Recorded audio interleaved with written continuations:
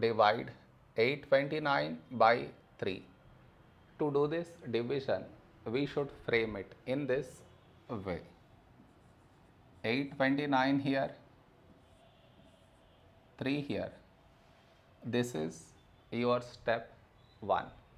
Next. Here we have 8, here 3.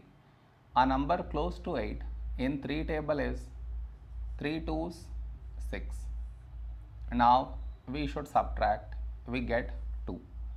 After this, bring down the beside number, so 2 down, so 22.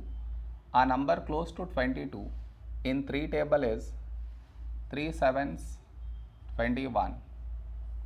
Now we subtract, we get 1.